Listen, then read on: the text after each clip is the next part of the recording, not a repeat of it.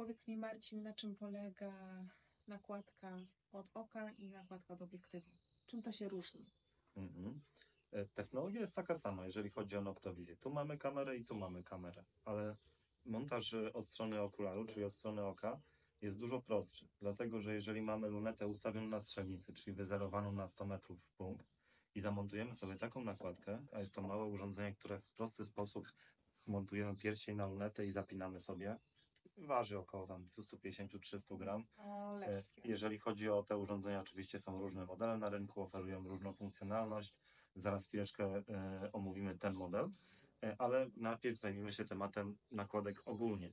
Czyli wszystkie nakładki od oka montujemy sobie e, na okularze za pomocą specjalnych pierścieni. Pierścienie są w zestawie, mają tulejki, więc różne średnice różnych producentów lunet są praktycznie załatwiane jednym pierścieniem. On się klinuje tak e, na zasadzie e, takiego stożka, czyli jest plastikowa wkładka stożkowa i nakrętka. I nakręcamy sobie jak nakrętkę od słoika i w tym momencie nam się dopycha stożek w stożek, klinuje i automatycznie nakładka się też centruje. E, Bardzo łatwy montaż. A ten bardzo obiektywu?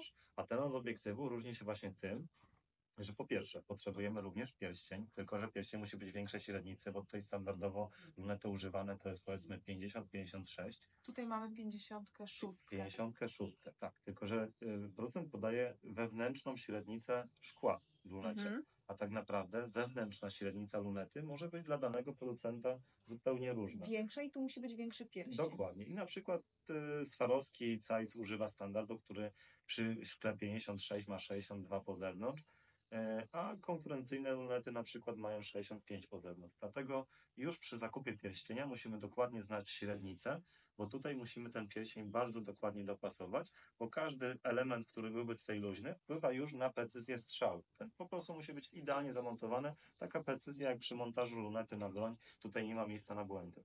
E, Ale co dalej? I co ważniejsze, wszystkie nakładki od przodu lunety, mamy tutaj akurat przykładową termowizyjną, montowane na pierścieniu od przodu lunety, wymaga kalibracji na strzelnicy.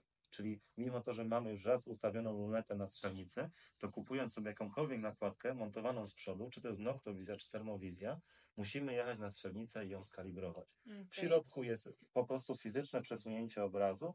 Jeżeli strzelasz z lunety w punkt na 100 metrów, a z nakładki na przykład 5 czy 10 centymetrów za wysoko lub za nisko, wtedy wchodzisz i podnosisz obraz w nakładce o te 10 Marcin, centymetrów. ona jest trudniejsza w montażu, bo wymaga pierścienia, musisz ją e, sprecyzować dobrze na strzelnicy, ale jest lepsza niż dookularowa nakładka.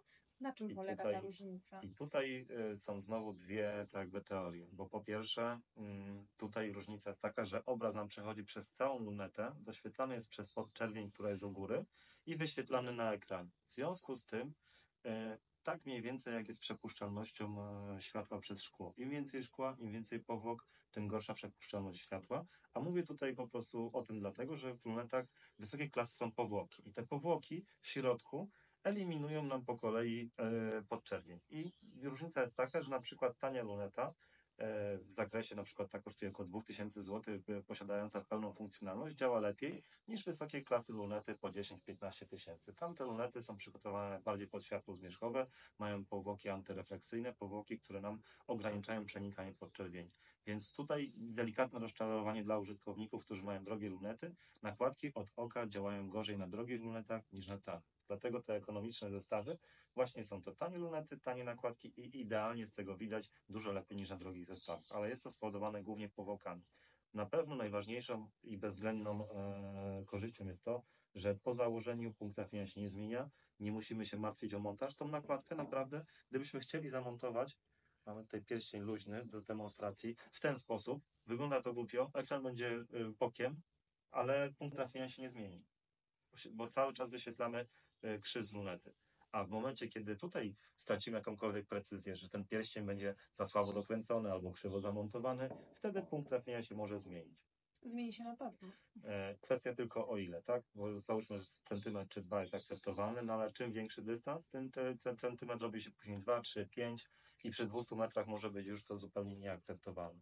E, Tak czy inaczej są zwolennicy obu rozwiązań. Niektórzy nie akceptują tego, że, że te nakładki po prostu przedłużają lunetę, że dystans do oka jest na przykład zbyt bliski, e, ale tak naprawdę zależy to od lunety, bo lunety pełne światło, czyli odległość między okiem a lunetą, mają w tej chwili nowe około 90 cm, ale są lunety na rynku, które mają 6 cm. I teraz jeżeli taka luneta, która ma 6 i zamontujemy nakładkę, która powiedzmy też ma 6, no to już może rzeczywiście ktoś bardzo blisko oka i trzeba zakładać takie stopki przedłużające kolbę. Ale dla standardowej lunety, jeżeli dystans jest 10 cm, to mamy tutaj około 6 cm metalu i 3-4 cm gumy amortyzacyjnej, która nam pozwoli e, zamortyzować odrzut. I tak naprawdę nie zmienia się w żaden sposób skład. Jeżeli jest poprawnie ustawiona luneta, te pełne światło jest na 10 cm, to to urządzenie nie wpływa na żaden komfort strzału. E, Co jeszcze, jeżeli chodzi o komfort użytkowania?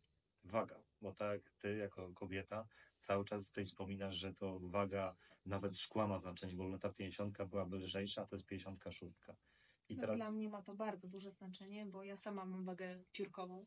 I teraz e, czym się różni ta waga? Bo to urządzenie, które będzie powiedzmy tutaj zamontowane, e, ta nakładka termoizolna ma 400 gram, ona tam ma powiedzmy około 300 gram, Mhm. czyli różnica jest stosunkowo niewielka. Mhm. Ale- Ale... punkt ciężkości. Ale punkt chyba, ciężkości, prawda? tu bardzo dobrze wykombinowałaś, punkt ciężkości jest zupełnie inny, bo to urządzenie wisi nam nad lufą, w związku z czym ta ręka, która krótka, e, ta ręka podporowa e, podczas trzymania broni, ma po prostu o te 400 gram ciężej, a tutaj mamy to w momencie, kiedy jest oparte e, e, Okej. w tym miejscu i punkt podporu, to tak naprawdę jakbyśmy tutaj kilogram zamontowali, to byśmy nie odczuli tego tak, jak im dało. Tak samo jak tłumik, nie? Tłumik to jest kolejne powiedzmy 400 gram, tylko na samym końcu lufy, przez co tak naprawdę on e, powoduje efekt, że czujemy z wolnej ręki strzelając, że to jest kilogram, a nie, a nie 400 gram, bo po prostu jest daleko odsunięty, odsunięty punkt ciężkości. To, to fajnie, że to zauważyłaś i że to jest takie oczywiste, ale niestety nie dla każdego.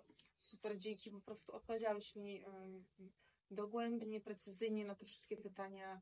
E, Teraz mi tylko pozostaje kwestia wyboru. Także dziękuję Ci bardzo. Ja również dziękuję.